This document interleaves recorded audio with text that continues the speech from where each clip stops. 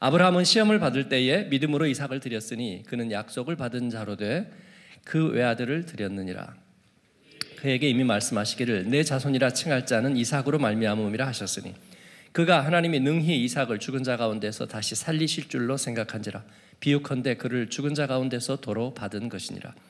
믿음으로 이삭은 장차 있을 일에 대하여 야곱과 에서에게 축복하였으며 믿음으로 야곱은 죽을 때에 요셉의 각 아들에게 축복하고 그 지팡이 머리에 의지하여 경배하였으며 믿음으로 요셉은 임종 시에 이스라엘 자손들이 떠날 것을 말하고 또 자기 뼈를 위하여 명하였으며 믿음으로 모세가 났을 때에 그 부모가 아름다운 아이임을 보고 석 달 동안 숨겨 왕의 명령을 무서워하지 아니하였으며 믿음으로 모세는 장상하여 바로의 공주의 아들이라 칭함 받기를 거절하고 도리어 하나님의 백성과 함께 고난 받기를 잠시 죄악의 낙을 누리는 것보다 더 좋아하고 그리스도를 위하여 받는 수모를 애굽의 모든 보아보다 더 큰 재물로 여겼으니 이는 상 주심을 바라봄이라 아멘. 네, 오늘 말씀 너무나 예, 아름다운 말씀이죠. 네, 성경을 아름답다고 얘기하는 것이 예, 자칫하면 어, 실질적이지 않은 예, 감상용처럼 이렇게 말하는 예, 우려가 있어서 조심스럽습니다. 네, 그럼에도 불구하고 오늘 말씀은 예, 예수를 주로 믿은 우리에게 또 치열하게 믿음과 세상을 동시에 모순되지 않고 그 안에서 살아가려는 이에게 아름다운 말씀입니다. 힘이 되는 말씀입니다. 히브리서는 바로 그 그들의 역사를 예수 그리스도의 빛 안에서 하나님이 주신 그 복음의 빛 안에서 어, 바라보고 있는 성경입니다. 그래서 이 믿음의 열조들에게 홍수 이전과 홍수 이후의 세대에게도 그들의 인류 역사의 변함없는 공통점, 예, 시계의 역사도 한없이 변하고 그리고 어, 과학의 역사도 한없이 변하는데 그러나 결코 변하지 않는 그 인간 역사의 하나의 핵심적인 공통점, 그것은 믿음으로 하나님을 기쁘시게 하는 사람들. 예, 그게 인류 역사의 물줄기라는 것을 분명하게 얘기해 주고 있고요. 홍수 이전의 사람들과 이후의 사람들에게도 이는 공통되다. 그들은 어, 믿음으로 하나님을 기쁘시게 하였고 그리고 의인은 믿음으로 말미암아 산다. 아, 이를 우리에게 얘기해 주고 있습니다. 그리고 그 안에 숨겨진 숨겨진 핵심 열쇠가 있다는 것을 오늘 말씀은 얘기해 주고 있습니다. 그것이 오늘 제목 그들은 왜 그들은 왜 그렇게 살았을까? 무엇 예, 무엇 때문에? 아니 그럴 수 없는 중에 어떻게 그럴 수 있었을까? 예. 세상은 그래서 어, 신화를 동원하고 아마 신하고 같이 반쯤 피를 섞었을 거야 라고 얘기하기도 하고 갑자기 번개가 툭 치니까 어, 토르가 망치를 멀리 던질 수 있었다.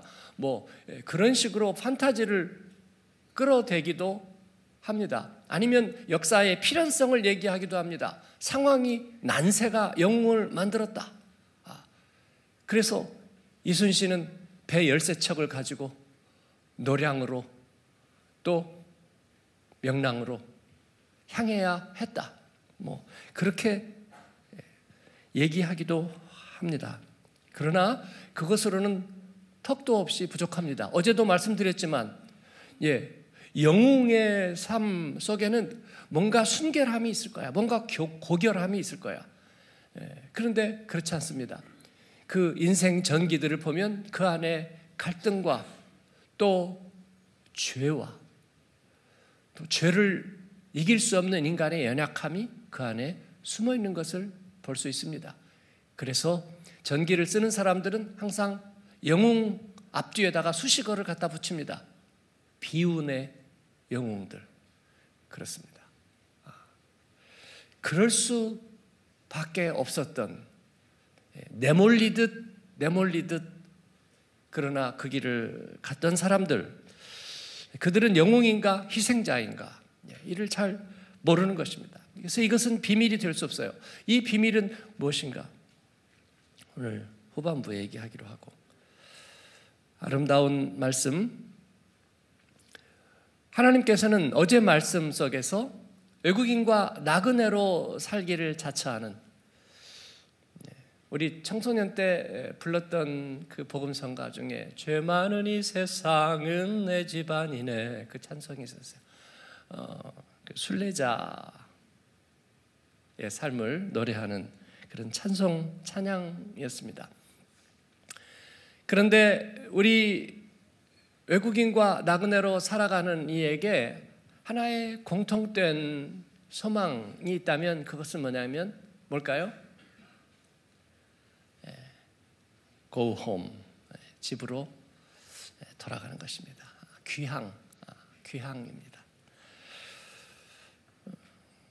호모의 오디세이나 아, 반지의 제왕의 주제도 역시 돌아가는 거예요. 호빗들이 사는 어딘가에 여전히 지금도 있다고 결론을 내려놓은 샤이어로 돌아가는 우주 탐험 이야기. 예. 뭐 최근 몇 년 동안 그 예, 우주 탐험이 예, 그렇게 뜸해서였을까요? 네. 그 영화에도 우주 탐험에 대한 영화 제가 지난번에 그 화성 탐험에 대한 그 영화 얘기를 잠깐 드렸었는데 에, 그 우주 탐험의 그 영화들 드라마들의 가장 핵심적인 주제는 결국은 뭐예요? 돌아온다는 것입니다. 돌아올 수 있느냐의 문제가 결국은 사실은 우주 탐험에 돌아온다는 것이 다 주제가 될 수는 없어요. 예, 거기에는 뭐 예, 생명체가 살고 있느냐, 우리가 그곳에 이주할 수 있느냐, 뭐 거기에서 식물이 재배될 수 있느냐, 또 뭐 박테리아나 세균들은 거기에서 어떻게 작용하느냐, 뭐 여러 가지 과학적인 이해관계가 많이 있을 텐데 예, 그런 것들을 영화에다 담아 보세요. 누가 보겠어요? 누가? 아무도 안 보지. 재미 한 개도 없어요. 그런데 인류의 사람들이 벌써 감정이입이라는 게 뭐예요? 로켓을 타고 거기서 이렇게 이렇게 한번 쑥 하면 슉 이렇게 가는 우주선 안에서 이렇게 떠가지고도 이렇게 뭐 신기하긴 한데 결국은 그걸 조금만 보고 있다 보면 관심은 뭐예요? 집에 갈 수 있을까? 그런 거죠. 예. 다시 대기권을 다시 역으로 예, 그 힘을 이기고 어, 파괴되지 않고 죽지 않고 그 열과 모든 것들을 견뎌내고 그리고 중력을 이겨내고 그러면서 몸의 장기나 이런 것들이 정상적으로 작용할까? 그리고 다시 돌아올 수 있을까? 컴백 홈 할 수 있을까? 그게 가장 중요한 관심이잖아요. 그래서 그 영화들은 전부 다 거기다 초점을 맞추고 있는 거예요.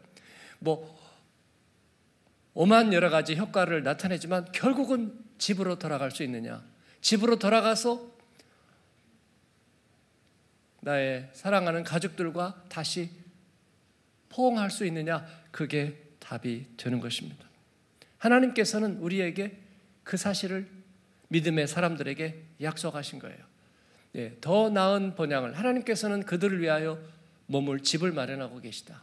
예, 제대한 아들에게 머물 방을 엄마는 준비, 아빠는 준비하고 있다. 그렇습니다. 이제 결혼한 자녀들이 집을 준비하는 것과 같고 태어나는 아이를 위해서 방을 아가 방을 준비하는 것과 같습니다. 하나님께서는 우리에게 집을 준비하신다. 할렐루야. 그렇습니다. 네. 그렇지 않다면 하나님은 우리에게 그 구원의 손을 내미셨을 리가 없습니다. 예수님은 내가 떠나는 것이 너에게 유익하지 않겠느냐? 내가 너희를 위하여 처소를 준비하러 간다고 말씀하셨습니다. 예수님 말씀은 공자님 말씀이 더 이상 아닙니다. 그래서 저희들에게는 실질적인 약속이에요. 예. 어, 저는 예수님을 만나고 어떤 사람의 신실한 약속도 예수님의 약속만 못하다는 것을 알았습니다. 기도하면서 들은 약속이지만 어떤 신실한 인생 살면서 제일 신실한 약속은 저희 어머니, 여러분의 어머니, 네, 우리 엄마가 한 약속이 예, 그 엄마도 누군가하고는 실언을 했을 거예요. 약속을 못 지켰을 것입니다. 그러나 자식하고는 어기고 싶지 않았을 거예요. 자기의 인생을 걸고 생명을 걸고 그렇죠. 예, 그래도 다 못 지켜요. 네, 저는 생각해 봅니다. 저희 어머니는 저에게는 전능한 분이었어요. 의사보다 만 배나 전능했어요. 예, 의사는 하다가 그냥 어, 다음에 봐요. 몇 개월 있다가 봐요. 다음 주에 또 봐요. 그리고 넘어가지만 어머니는 그리고도 넘어가지 않습니다. 그리고도 의사의 말이 뭔가 시, 시원치 않으면 그 자리에서 없고 다른 병원 갑니다. 예, 좋은 건 아니에요. 예, 의사의 말을 믿고 살아야지. 그러나 어머니는 전능하기 때문에 그렇습니다. 내가 마음에 안 들면 또 다른 병원으로 가고요. 그리고 저녁 내 잠자지 않고 지켜냅니다. 네. 그런 분이시지만 그러나 우리 예수님만은 저는 못했던 것 같아요. 예수님이 약속하신 것은 인생의 시간을 지나고 볼때 네, 가장 진실하고 가장 진정성 있고 그리고 그 안에 있을 때 우리가 망하지 않고 실패하지 않았습니다. 예수님은 우리에게 그러한 약속을 주시는 분이에요. 그래서 그분이 우리에게 처소를 예비하러 가셨다 했기 때문에 우리는 그 말씀을 믿는 것입니다. 우리의 생애 동안 우리의 모든 것을 지키시고 우리에게 약속하시고 약속을 이루신 분이시기 때문에 주님은 우리에게 처소를 예비하러 가신 거예요. 우리에게 상 주시겠다 하신 말씀을 우리가 믿고 기다리는 것입니다. 우리를 휘날레의 잔치에 참여하리라. 이 말을 여러분 추상화시키지 마세요. 그냥 어, 의롭게 살면 보상이 있다고 믿어라. 그거 아무 소용 없어요. 예? 아무 힘이 없어요. 그래서 제가 예, 구체적인 이야기를 하는 거예요. 인형 눈깔 얘기도 하는 거예요. 그런데 믿음을 가지고 살면서 전혀 기대감이 없어요. 그래서 힘들어해지고 잠이 오는 거예요. 예. 그 제가 물어봅니다. 응급실 앞에서 잠이 오든가, 예. 수술실에다가 가족을 놓고 그 앞에서 잠이 오든가, 잠 안 옵니다. 왜냐하면 예, 절대절명의 순간이기 때문입니다. 하나님께서는 우리에게 그와 같이 하셨습니다. 그래서 이 믿음의 사람들에게 주님께서는 본향을 약속하셨다. 저와 여러분에게는 하나님의 집이 약속되어 있습니다. 할렐루야. 이것을 늘 생각하고 바라보고 그리고 잊지 않는 저와 여러분 되기를 바랍니다. 그렇지 않으면 어느 순간인가 길을 잃어요. 제가 말씀드렸죠. 노년의 나이가 들어가면은 영적이 되는 것이 아니라 훨씬 육적이 된다. 세상에 대한 미련이 많아진다. 세상 물질에 대한 집착이 더 심해진다. 그런 거예요. 그래서 마지막 순간에 육으로 흘러버리는 거예요. 여러분, 우리가 그러지 않기 위해서는 영적으로 더 무장되어야 하고요. 우리 안에서 믿음이 사라지면 우리 안에 영이 소멸되는 줄 믿습니다. 영이 괴사되는 거예요. 그렇지 않아야 되는 줄로 믿어요, 여러분. 예? 왜냐하면 육체가 갈수록 어, 연약해지면서 육체에 대한 관심이 더 커지기 때문에 우리가 거기에 대한 세상의 시간이 짧아진다고 생각하기 때문에 세상에 대한 미련이 점점 점점 많아지는 거예요. 50대 예, 이상은 들을지어다. 40대만 예, 해도 평생 영원히 살 줄 알아요. 어, 입이 그치면 강 건너 언덕엔 새로운 풀빛이 짙어오겠다. 이, 이 감기만 지나면 나는 다시 또 식스팩 무장하고 하늘을 날 거야 라는 생각 판타지를 가져요. 40대 그러죠? 예. 그러니까 아파도 별로 걱정하지 않아요. 근데 50대는 어 내리막인가 생각이 또 들기 시작하고 그러면서 육체에 대한 관심이 자꾸 자꾸 어, 커져 가는 거예요. 그래서 예배 때 안 보였네요. 아, 제가 몸이 아파서 아이고 그렇군요. 조심하셔야죠. 아, 건강이 제일이에요. 얘기하다가 약간 교회에서는 안 어울리는 것 같기도 한데 예, 그래도 아 그러면 건강이 제일이죠. 예, 목사님도 건강하세요. 건강이 제일이에요. 아 그렇죠. 건강이 제일이죠. 예, 그 다음에 예배도 있고 기도도 있고 성교도 있고 전도도 있는 거죠. 맞은 것 같기도 하고 안 맞은 것 같기도 하고 같기도인데 그렇습니다. 이 유혹에서 승리하십시오, 여러분. 예. 주님 앞에서 영으로 시작해서 육으로 마치지 않도록 여러분 기도하시고 그래서 50대 이상으로 넘어가면 예, 기도의 시간을 늘리시고요. 물론 육체적으로 강건해야 됩니다. 그래야지 늘 근심하지 않고 살 수 있어요. 근데 육체적으로 강건하는 방법도 영적으로 깨어 있고 인생의 목적이 분명해야 육체적으로 강건할 수 있어요. 그렇죠? 자기를 단련할 수 있습니다. 하나님께서 저와 여러분을 본향으로 인도하십니다. 오늘 말씀은 아브라함의 믿음과 그리고 그 믿음의 족장들의 이야기입니다. 먼저 유명한 아브라함의 믿음에 대해서 하나님이 이삭을 바치라고 테스트한 내용입니다. 하나님께서는 아브라함에게 예, 왜 이것을 요구하셨는가? 예. 여러분, 이것은 논쟁의 대상이 아닙니다. 이미 우리에게는 어, 이 사실이 분명하게 깨달아집니다. 어, 굳이 이름을 붙이자면 하나님은 역사적으로 두 번째로 위대한 믿음의 결단을 아브라함에게 요구하셨습니다. 왜 두 번째로 위대한 결단이라고 얘기할까요? 아들을 바치라는. 첫 번째는 누구일까요? 예수님이죠. 여러분, 하나님의 역사는 동심원과 같다고 그랬습니다.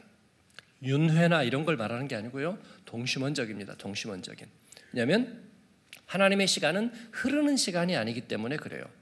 그래서 가장 중요한 것부터 시간 안에다 넣다 보면 예, 동심원입니다. 그래서 예수 그리스도는 항상 가운데 있습니다. 요한 계시록에 하나님이 하늘의 커튼을 열어서 하늘의 세계를 보여주니까 예, 이 하늘 시스템을 태양계처럼 하늘계, 하나님계를 보여주니까 하나님의 보좌가 중심에 있었고요. 그리고 거기에다가 또 어, 어린 양 예수님, 하나님으로부터 그 두루마기를 두루마리를 예, 인계받은 이제 어리 그 두루마리의 봉인을 풀 자, 예, 유다 지파의 사자, 아, 다윗의 뿌리, 예, 그 예수 그리스도가 그 가운데 계셨습니다. 그래서 예, 예수님은 첫 번째 믿음의 위대한 행위를 하신 분이에요. 예, 그래서 하나님은 그 예수님을 우리에게 주시고 예수님의 순종을 통해서 바로 그 믿음의 행위를 드러내셨습니다. 두 번째로 아브라함을 통해서 바로 그 믿음의 행위를 요구하셨어요. 예수님 다음으로 중요한 희생입니다. 이삭을 바치라고 하셨습니다. 그러나 하나님은 그 아브라함에게 예, 이삭으로 말미암아 내 자손이 이 세상에 충만하리라고 약속하신 분입니다. 아브라함에게 너의 씨로 말미암아 땅의 모든 족속이 복을 받으리라고 하신 분이에요. 15장에서는 나는 너의 방패요 너의 지극히 큰 상급이시라, 상급인이라고 약속하신 분입니다. 예, 상급을 약속하신 분이에요. 그리고 너를 보호하고 방패가 되겠다고 약속하신 분이에요. 17장에서는 나는 전능한 하나님 엘샤다이라고 말합니다. 그러므로 너는 내 앞에서 행하고 완전하라고 말씀하십니다. 하나님은 소돔과 고모라의 운명을 가지고 아브라함과 토론했고 딜했고 그리고 해명했습니다. 하나님은 그를 두 번이나 친구라고 그렇게 부르셨습니다. 그러므로 하나님은 그를 테스트할 자격이 있으십니다. 아브라함이 가장 사랑한 사람은 네, 이삭이었습니다. 하나님은 그래서 이삭을 두고 테스트 하신 것입니다. 이것은 유혹이나 미혹이 아닙니다. 유혹이나 미혹은 사단이 하는 것입니다. 넘어뜨리려고 하는 거예요. 예, 그러나 하나님은 연단시키려고 하십니다. 자격을 갖추게 하시려고 하십니다. 그래서 아브라함의 생애에서 마지막 박사 논문 같습니다. 뭐 박사 논문이 대단한 건 아니지만 어쨌든 예, 굳이 비유하자면 마지막 자격증 박사 논문 PhD 논문 같은 것입니다. 하나님은 우리를 그렇게 테스트 연단하실 수 있습니다. 왜냐하면 왜냐하면 그렇지 않으면 마귀가 유혹할 거기 때문입니다. 그렇지 않으면 마귀가 미혹해서 우리를 반드시 넘어뜨릴 것이기 때문에 그러기 전에 하나님은 우리를 연단하시는 거예요. 그러니까 제가 아까 서두에서 말씀드린 것처럼 우리 특별 새벽 기도는 하나님이 우리에게 해가 없이 우리를 연단하시는 거예요. 그러니까 어떤 분은 힘들어해요. 뭐 아무것도 없는데 뭐 예. 괜히 잠이 좀 부족하네. 그게 아니라 여러분 우리에게 감당하지 못할 시험이 와서 우리가 하나님 앞에 매달리기 전에 그럴 만한 힘을 우리들에게 가질 수 있도록 우리를 연단하시는 거예요. 그래서 이 시간이 중요한 줄로 믿습니다. 아멘. 건강하고 멀쩡하게 하나님 앞에 깨어 있는 예, 그러니까 그 시간 지겨워하고 핸드폰이나 뒤적거리고 그러지 마세요. 하나님 앞에 100% 집중하고 1000% 집중해서 주님 앞에 능력 얻는 여러분 되기를 바랍니다. 이 기회가 많진 않아요, 여러분. 특세 한번 보세요. 한 번은 한국 갔고, 한 번은 아팠고, 한 번은 무슨 일 있었고, 한 번은 또 신앙적으로 시들시들하고, 한 번은 마음이 상하고, 그래서 못했잖아요. 그랬죠? 예. 그리고 제대로 할 수 있는 거 많잖아요. 우리 일생에 많잖아요. 손으로 꼽아요. 하나님이 우리를 연단시키시는 거예요. 이 기회를 붙드시기를 바랍니다. 아브라함은 그렇게 했습니다. 하나님은 왜 그를 시험하십니까? 예. 마귀가 유혹할지 모르니까 하나님은 킬러 문항을 킬러 문항 아세요? 예. 킬러 문항을 내 가지고 준비를 시키시는 거예요. 예. 뻔한 대답 말고요. 뻔한 대답 말고 특별한 대답을 니들이 생각하지 못했던 거. 그걸 가지고 하나님은 왜 사랑의 하나님이라는데 왜 이렇게 하실까? 뭐 이렇게 얘기하고 그래 가지고 시험 이기겠어요? 못 이기죠. 예. 당연하게 알고 예, 나도 생각했어요. 예상하지 못한 문제 나오리라고 생각했어요. 그러려고 하나님 나를 준비시키셨고요. 그리고 야자시키고 그 다음에 선행학습도 시킨 거예요. 맞잖아요.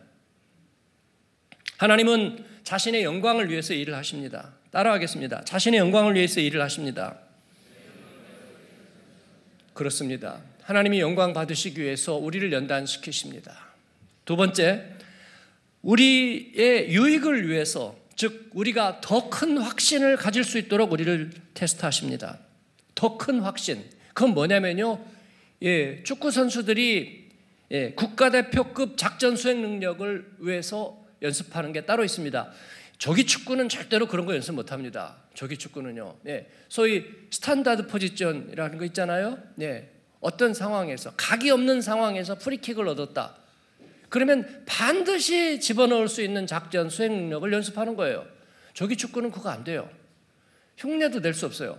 예, 그럴만한 작전 수행 능력이 있는 사람들에게 그것을 수도 없이 반복해서 반드시 득점으로 넣는 거예요. 독일 월드컵이 몇 년도 있습니까? 2006년? 네, 그때 하노버에서 스위스하고 우리 예선전 마지막 경기 보러 갔다가 정말 열받아 죽는 줄 알았어요. 어, 스위스하고 2대 0으로 졌잖아요. 근데 프리킥이었어요. 아, 정말 우리 한국 축구를 오래 봐왔지만 꼭 먹을 것 같아요. 정말 먹더라고요. 아니나 다를까. 프리킥 차는데 예, 스위스 예, 일단은 그때는 우리 수비수보다 다 키가 크잖아요. 예, 키가 크는데 그 수비수 머리 위쪽으로 이렇게 넘기니까 수비수가 앞으로 나와 있잖아요. 공격수들이 있다가 위로 넘기니까 일제히 들어가면서 헤딩으로 하는데 아, 먹을 것 같아. 먹더라고요. 왜 먹었을까요? 그렇게 훈련했으니까 먹은 거예요. 우리는 아직 그 공력이 안 돼요. 공력이 안 돼서 먹었습니다. 그래가지고 스위스 사람들이 목청이 또 얼마나 큰지요. 우리 붉은 악마 와가지고 뭐 대한민국 하는데 스위스 사람들이 전부 다 일제 홉 스위스 깜짝 놀라. 예, 목청이 이게 산에서 살아가지고 아, 목청들이 벌써 홉 스위스. 제가 집에 돌아오면서 오다가 차 안에서 홉 스위스 한 번 했더니 우리 아들이 아빠 그 얘기 좀 하지 마. 스트레스 받아. 주여. 하나님께서 우리를 작전 수행 능력을 할 수 있도록 셋 포지션 연습을 시키세요. 그래서 우리에게 더 큰 확신을 이길 수 있다는 확신을 갖게 하시는 줄 믿어요. 아브라함이 나하고 무슨 상관이 있어요? 이삭이 무슨 상관이 있죠? 바울이 무슨 상관이 있죠? 상관이 있습니다. 성경에 있는 말씀은 다 상관이 있어요. 우리들의 생애에서 건너야 될 강, 그리고 지나야 될 골짜기 주님께서 우리에게 연습시키는 줄로 믿습니다. 세 번째는 우리의 믿음을 깨끗하게 하시게 한 것입니다. 이삭의 경우에 하나님 대형물이 될 수 있었다. 제 말씀 드렸죠? 예. 우상으로 삼을 수 있습니다. 이것은 아브라함을 통한 하나님의 구원 역사의 걸림돌이 될 수 있어요. 아브라함과 이삭의 왕조 이야기가 될 수도 있습니다. 홈 드라마가 될 수도 있어요. 예, 상속의 갈등 문제로 비화될 수도 있습니다. 아브라함은 유대교나 이슬람교의 조상이 되어서는 안 되는 하나님의 사람입니다. 예수님의 길을 예표하는 그런 중요한 본보기가 되어야 합니다. 여러분이 예수님 믿고 그리고 하나님의 은혜 받고 말씀으로 무장되고 성령 체험해서 그래가지고 여러분이 성경에 갑자기 예언자가 돼가지고 한마음교회 안녕히 계세요. 그러더니 소문에 들으니까 어디서 막 예언하고 다닌다는 얘기가 들려요. 여러분 그러면 안 되는 거예요. 잘못된 길로 빠지는 거예요. 네? 그거 아니면 갑자기 병 고치는 은사가 주님이 약속하신 거예요. 의인의 기도는 병자에게 손을 얹어 즉 나으리라 그랬는데 어 보니까 나요. 그 누가 자랑을 하는 거예요. 아, 네. 제가요 뭐 어떤 쪽에 특별하게 은사가 있어서 예, 기도하면 나요. 그러면서 거기까지는 좋았는데 또 하나의 재림주가 탄생했다는 얘기가 들려요. 예, 이거는 잘못되는 거예요. 우리는 복음의 전달자고 예수님의 신실한 제자로 살아야 되는 줄로 믿습니다. 그러기 위해서 하나님은 은사를 주시는 거예요. 예, 은혜를 주시는 것입니다. 아브라함은 이를 통해서 깨끗한 믿음을 가질 수 있도록 순수한 믿음을 가질 수 있도록 하나님께서는 그를 연단하셨습니다. 그 다음 하나님은 왜 그를 연단하고 테스트하시는가? 예, 그를 지켜보는 세상과 믿음의 역사를 위해서 그를 테스트하십니다. 사람들이 다 보고 있어요. 예, 아브라함은 어떻게 할까? 아브라함은 어떤 길을 갈까? 예, 그는 그 모델입니다. 여러분, 하나님은 우리를 연단하시고 깨끗하게 연단하셔서 우리의 믿음을 순수하게 하시고 한마음교회 제자 훈련하고 정말로 진검승부하고 365일 QT하고 늘 그 사람들은 뭔가 결단하기를 좋아하고 흘려 보내기를 좋아하고 내어 보내기를 좋아하고 그, 그 사람들 같으면 이런 standard position에서 일반적인 어려움이 생긴 이런 상황에서 그들은 어떻게 반응할까? 그들은 어떻게 이를 이겨낼까? 그들은 과연 모델이 될 수 있는가? 그들에게는 패러다임이 있는가? 당연히 생각할 거예요. 그렇지 않아요? 당연히 생각할 겁니다. 거기에 대해서 하나님은 우리를 연단하실 수 있습니다. 그래서 우리를 자랑스럽게, 자랑스럽게 내세우실 수 있다. 우리들의 어린 자녀들까지. 예. 제가 다른 학교는 모르겠어요. BNS 선생님들이 우리 학교, 우리 교회 BNS 아이들이 많으니까, 예, 이렇게 약간 수업 시간에 쟤들이 아니 그러니까 맨날 뒤에서 자는 애들 이렇게 막 뒤에서 퍼자는 애들 같으면 안 그러지. 근데 공부 잘하고 이런 애들인데 약간 이렇게 조르니까 어, 왜 조냐? 그랬더니 아 새벽 기도 특별 새벽 기도 나가서 그러니까 아, 처음에는 야 이 광신도 집단 아니야? 왜 애들을 공부하는 애들을 새벽을 보내 가지고 졸게 만드나? 그런데 걔들이 또 공부를 잘하거든. 그러니까 나중에는 이제 선생님들이 이해를 하는 거예요. 예? 음.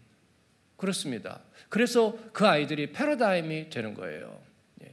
어릴 때부터 신앙생활하지만 애들이 무슨 이슬람교 광신도 집단 같지는 않고 예. 합리적이지만 그러나 믿음이 있고 또 상식적이지만 그러나 그걸 이겨내는 애들이 야 거기에서 세상 사람들은 배우게 되는 거예요. 그렇게 되기 위해서 하나님은 아브라함을 시험하십니다. 할렐루야. 그러면 아브라함은 어떻게 거기에 순종할 수 있었을까? 아들을 바치라는 아들을 죽이라는 부도덕한 명령에 어떻게 순종할 수 있었을까? 잔인했기 때문에 아니면 맹목적이기 때문에 아니죠. 이삭은 그때에 아마 20세 전후 가장 사, 가능성이 많은 순수하고 당당한 사랑스러운 소년이었을 것입니다. 예. 이제 사춘기가 막 지날 때쯤 이제 사춘기 때는 되게 미워요. 그죠? 네, 여기도 있지만 아우 미워. 네. 미운데 이제 사춘기를 약간 벗어날 때쯤 되면 아이들이 다시 사랑스러워지기 시작합니다. 아, 내가 왜 그랬을까? 엄마 말에 왜 그렇게 에, 똑똑하게 했을까? 이제는 어, 조금 더 이거를 이제 극복하는. 그리고 이제 또 뭔가 아, 믿음이 자라기 시작하고. 에, 그러면은 너무나 아, 예쁘죠. 이제 예, 솜털이 약간 벗어날 쯤한그 이삭은 아마 그런 나이였을 것입니다. 게다가 그는 기적의 아들이었습니다. 그를 하나님 앞에 드리는 것은 결코 쉽지 않은 일이었을 거예요. 그런데 아브라함은 어떻게 그를 바친다고 할 수 있었을까? 마틴 루터는 늦가기 결혼을 했습니다. 그의 아내는 카타리나 폰 보라라는 독일이니까 아마 애칭이 뭐였을까요? 카치에? 음, 뭐 그랬을 거예요. 근데 이제 가정 예배를 이렇게 드리는 거예요. 이제 어, 루터도 수도사로 서원을 했다가 둘이 결혼했으니까 결혼 못할 뻔한 사람들끼리 결혼을 이렇게 한 거죠.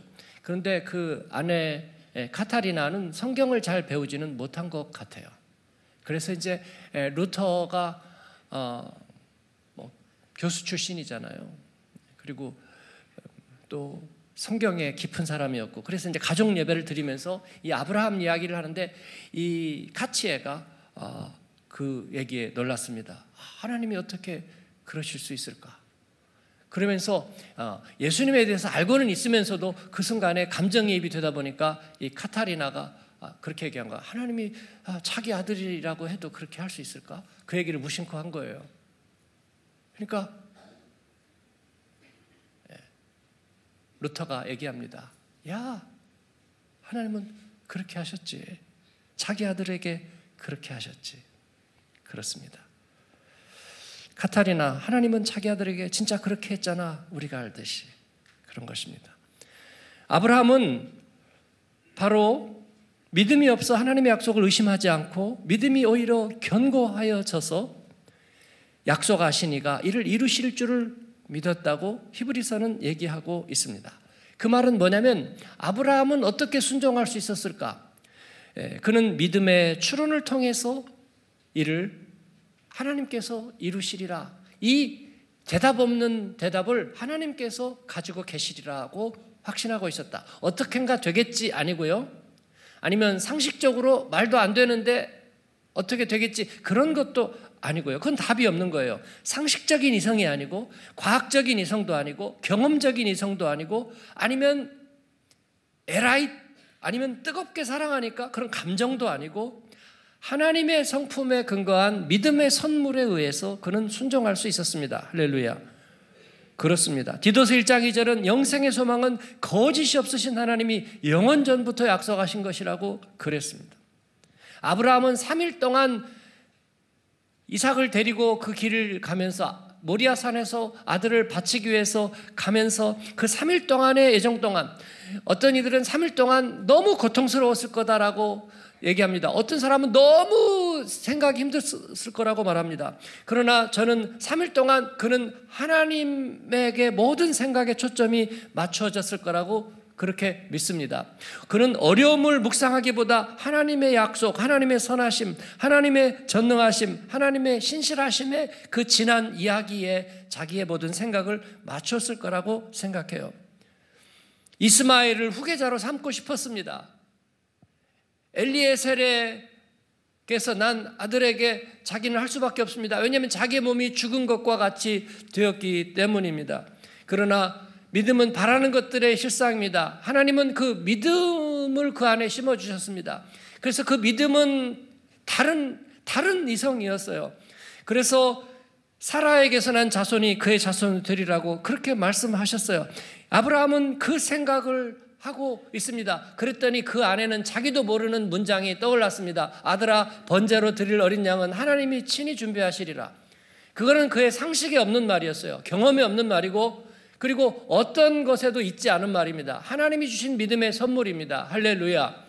여러분의 일터에서, 여러분의 삶의 고비고비에서 하나님이 그 답을 주시기를 바랍니다. 그 믿음의 선물을, 그 문장을 여러분에게 주시기를 바랍니다. 그래서 그 문장을 가지고 하나님 앞에 나아가는 여러분 되기를 바랍니다. 17세기의 가장 위대한 열매는 무엇이냐면요. 세계의 가장 예, 진실한 그리스도인 목회자 신학자들이 모여가지고 하나님에 대해서 또 우리 믿음에 대해서 고백을 쭉 정리한 것입니다. 그게 그 유명한 웨스트민스터 신앙 고백입니다. 그 웨스트민스터 신앙 고백에 우리는 하나님을 누구라고 고백하느냐에 대해서 쭉 쓴 걸 보면요. 어, 그걸 미사여구라고 보기 어렵고요. 네, 정말 감격적인 내용으로 우리가 네, 성경과 우리의 삶을 통해서 하나님이 하신 일들을 가지고 하나님에 대한 이야기를 쭉 고백한 걸 보면 아, 대단합니다. 아마도 아마도 아브라함이 3일 동안 이삭을 바치기 위해서 그 순종의 길을 가는 동안에 묵상한 하나님과의 스토리, 하나님과의 이야기를 적는다면 바로 그 웨스트민스터 신앙 고백이 저는 될 거라고 생각해요. 언더우드가 닫혀진 조선의 마음을 보고 기도하면서 열일을 하고 그리고 자기의 생애를 드렸던 그 언더우드가 그 순간순간마다 황해도, 함경도, 평안도의 들판을 거닐고 또 병에 시달리면서 주님의 일을 복음을 조선 땅에 전했던 가장 순수하고 가장 벅찬 말씀을 전하려고 했던 그때마다 그가 묵상했던 하나님은 아마도 웨스터민스터의 신앙 고백과 같았을 거라고 저는 그렇게 생각해요. 우리도 마찬가지예요, 여러분. 네. 그렇습니다. 그 믿음의 선물을 통해서 아브라함은 이 문장을 얘기할 수 있었습니다. 아들아, 번제로 드릴 어린 양은 하나님이 친히 준비하시리라. 하나님이 사랑의 하나님이라면 왜 그런데요? 그렇게 말하지 않았습니다. 그는요. 나는 이해할 수가 없어. 나는 나는 믿음이 부족해서 이해할 수가 없어. 그는 그렇게 말하지 않았고. 그런데 마지막 비밀, 왜 그렇게 할 수 있었을까? 오늘 말씀은 우리들에게 그 결론을 얘기해 줍니다. 그리스도를 바라봄으로 할 수 있었다고 말해요. 그들에게 있지 않은 그리스도, 그러나 있었습니다. 왜냐하면 역사는, 하나님의 역사는 동심원이기 때문에 그들이 예수 그리스도가 어떻게 오신다는 걸 몰랐지만 그들 안에는 답이 있었다는 거예요, 여러분. 그래서 그들은 히브리서 기자는 이제야 그 비밀을 알 수 있습니다. 그래서 아브라함도 이삭도 야곱도 야곱은 왜 죽기 전에 그 야곱의 아들들에게 지팡이 머리에 의지해서 서양 사람들은 그것을 지팡이의 머리에다가 입맞추며라고 얘기합니다. 지팡이의 머리에 의지해서 어떻게 그들을 축복하고 바라볼 수 있었는가? 왜냐하면 그리스도를 바라볼 수 있었기 때문이라고 말합니다. 사랑하는 여러분, 우리에게는 지금 그 증거가 분명합니다. 그러니까 예수님을 바라보십시오. 믿음의 주요 온전케 하시는 예수님을 바라보십시오. 예수님을 바라봅시다. 마지막 주님 앞에 서기 전까지 주님이 우리를 천국을 미리 임하게 하실 때까지 그리고 육신의 임종을 맞이할 때까지 우리는 예수님을 바라보자. 그리고 믿음의 테스트에서 꼭 승리하셔서 여러분 믿음의 국가대표 되기를 축원합니다. 아멘. 우린 나그네로 살면서 지방칸 장만하고 어떻게인가 가족과 식솔들 먹여 살리고 그들에게 다만 얼마라도 남겨줄 그 물질 얼마를 위해서 우리는 이 생에 부름받지 않았습니다. 그거는 덤으로 주시는 것입니다. 우리에게는 더 나은 번향이 있고 우주선은 반드시 돌아갑니다. 우리에게는 주님께서 예비하신 집이 있고 그리고 우리에게는 정금 같은 믿음으로 이 세상 가운데서 우리가 살도록 하나님께서는 준비하셨고 우리의 깨끗한 믿음과 더 큰 확신과 그리고 하나님의 그 기뻐하시는 영광을 위해서 우리를 연단하십니다. 그러므로 우리는 순종할 수 있습니다. 오늘 모세기까지는 못하겠네요. 그렇습니다. 모세가 왜 바로의 궁중에 그 모든 것들을 누리지 아니하고 그리고 그들은 그 모세는 광야로 향할 수 있었는가? 나중에 보니까 그 비밀이 드러나는 것입니다. 그들이 모두 다 그리스도를 바라봄으로 그렇게 할 수 있었다. 하나님께서 그들에게 찾아오셔서 그들을 친구 삼으시고 그들을 부르시고 떨기나무 불꽃 가운데서 부르시면서 아하 그랬군요 그랬군요 그랬군요 나를 왜 간증 자리에 세우시는가 여러분 예? 왜 내게 눈물의 기도를 허락하시는가? 내가 아팠기 때문에 감정적으로 약해졌기 때문에 그러지 않다는 거예요, 여러분. 그리스도께서 우리 안에 계시고 우리가 주님을 바라보고 우리에게 더 큰 시련을 이겨내고 열매를 맺기 위해서 하나님께서는 우리를 그렇게 하신다. 할렐루야. 그런 줄로 믿습니다. 예. 결정적인 시련을 겪을 때 아브라함처럼 순종의 믿음을 드리기 위해서 야곱처럼 지팡이 머리에 의지해서 하나님을 경배하기 위해서 가장 아름다운 믿음과 순정의 패턴을 배우고 그대로 살아내는 저와 여러분 되기를 축원합니다. 아멘.